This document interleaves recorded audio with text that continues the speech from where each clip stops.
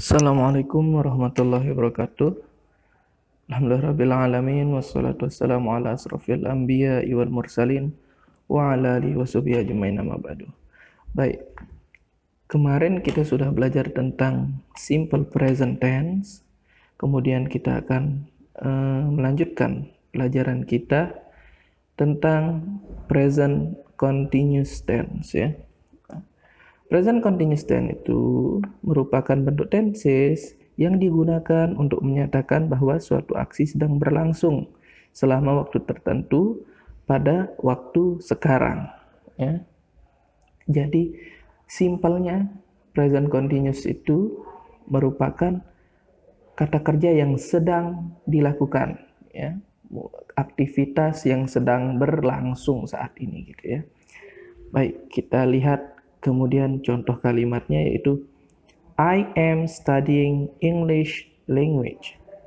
I am studying English language. Kemudian nomor dua, he is teaching in our class. He is teaching in our class. Atau he bisa juga diganti nama orang ya, terserah. Kemudian kalimat ketiga, they are not playing football. They are not playing football.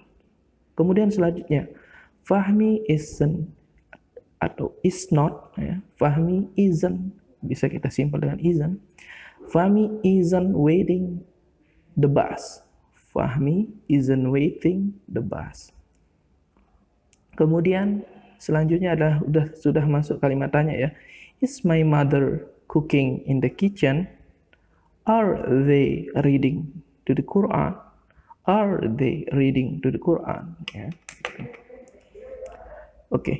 sebelum kita mengetahui uh, bagaimana formulanya, kalimat-kalimat ini merupakan salah satu contoh bagaimana kalimat positif, kalimat negatif, maupun kalimat interrogatif dari present continuous.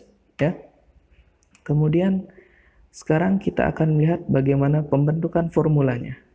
Baik. Nah, untuk yang pertama, formula positif. How to make the positive sentence. Oke. Okay? Jadi di present continuous ini dia menambahkan to be am is are sebagai uh, kata uh, sambungannya ya. Jadi biasanya yang kita tahu uh, kata kerja itu subjek, kemudian langsung kata kerja. Nah, khusus untuk simple present continuous dan ada tenses juga yang lain, tapi mungkin uh, waktu lain akan kita bahas. Untuk present continuous ini, dia merup, uh, menggunakan to be, am, is, are sebagai kata bantunya, ya, sebelum verb itu. Kemudian, mari kita lihat. Positif adalah uh, formulanya adalah subjek, to be am is are ya. Kemudian verb ing. Jadi ing itu di sini ditambahkan set, pada setiap kata kerjanya oke? Okay?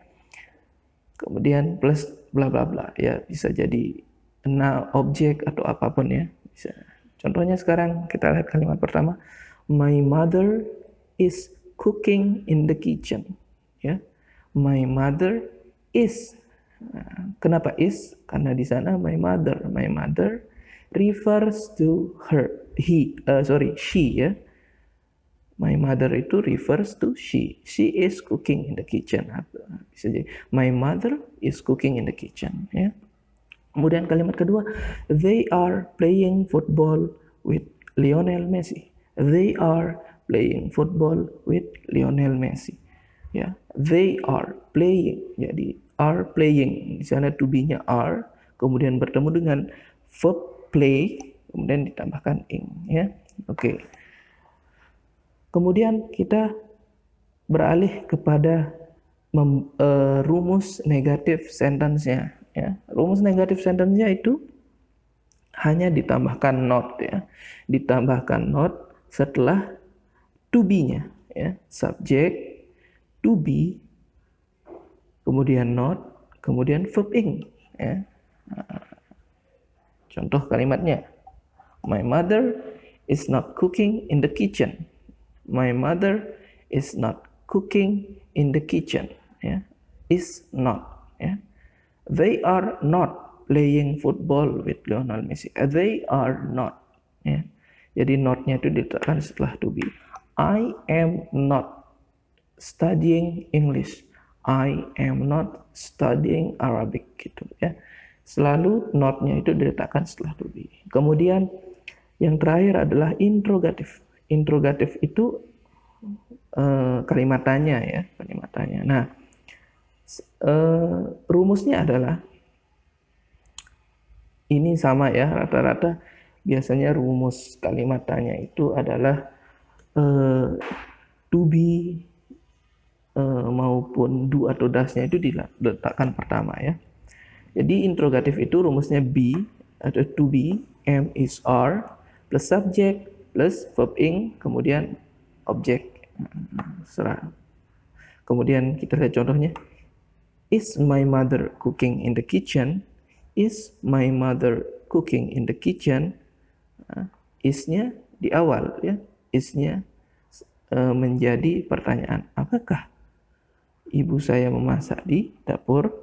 Is my mother cooking in the kitchen. Am I uh, studying English? Bisa ya. Are we playing basketball? Bisa ya. Are we uh, walking into uh, room? Gitu misalnya ya. Bisa. Kemudian yang terakhir, uh, kalimat terakhir. Are they playing football with Lionel Messi ya itu ya ingat juga di akhir diletakkan tanda tanya sebagai bentuk pertanyaan ya. Baik. Mungkin itu saja untuk materi kali ini. Selanjutnya nanti kita akan belajar tentang simple future untuk pertemuan berikutnya ya. Syukuran. Assalamualaikum warahmatullahi wabarakatuh.